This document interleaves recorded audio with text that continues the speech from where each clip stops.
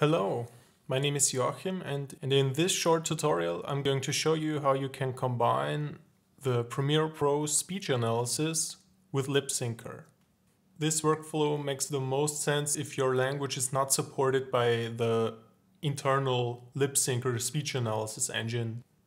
There are a bunch of languages that you can download from Adobe to work with Premiere. So I put a link to an Adobe help page in the description on how to download and install them.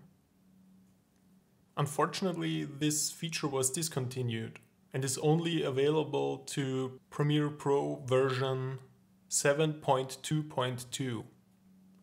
Just for demonstration purposes, I'm using an, an English track.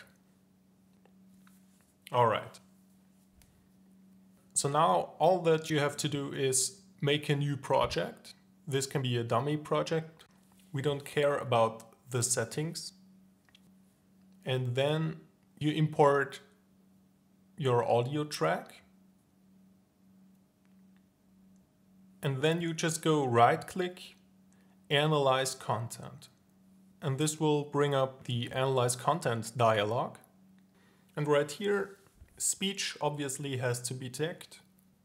For language, you set the language that your audio track is in. It also says it here that you can download and install additional languages. I will put a link on how to do that in the description. For quality, I would recommend using high. And here's the most interesting part, the reference script. I would really recommend using a reference script because it makes it makes the analysis so much better. I choose add. This can be an Adobe Story script or a plain text file. So in my case it's a text file. I would use a script that fits to 100% and if it does, you should absolutely tick this checkbox here because then the speech analysis engine can focus on aligning the words instead of also having to analyze them. This will be both more accu accurate and of course faster. What will happen is Adobe Media Encoder will pop up and, and do the analysis and when it's done it will add it to the metadata of of your file. And when it's finished, I like to change the workspace to Metalogging. I like the alignment of the panels better. And then down here under the speech analysis panel, you can see the text and the alignment that has been produced. You can also so stop play wasting it back time. and it will Start highlight using lipsyncr. Visit and it will highlight the aescripts.com slash at the time that it thinks it was said. You can also by right clicking add and change words here.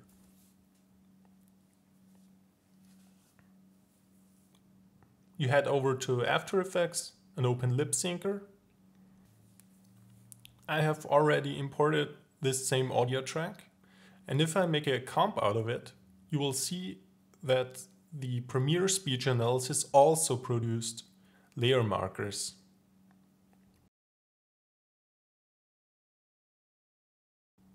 I make a high quality template comp and head over to the Analyze tab. And in the Analyze tab, we will do two things. Because the analysis is already done, we can untick this checkbox and we can also leave the whole text box blank. And, that, and that's what I'll do. Now I just hit analyze.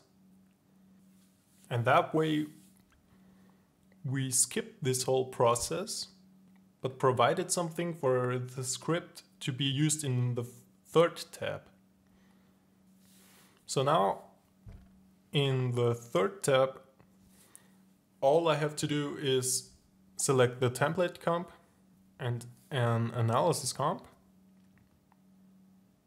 and hit animate. And there you have it. Here's, here's the animation.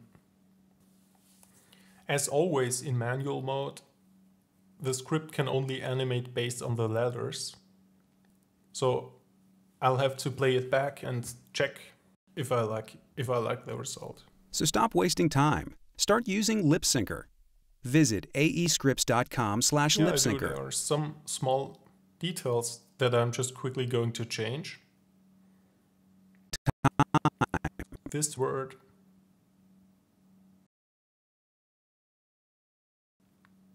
Here's a Viseme that I don't really need.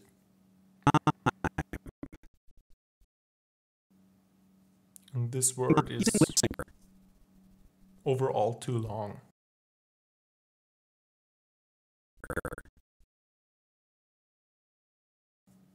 If I play it back again, lipsyncr. yeah, now it's fine.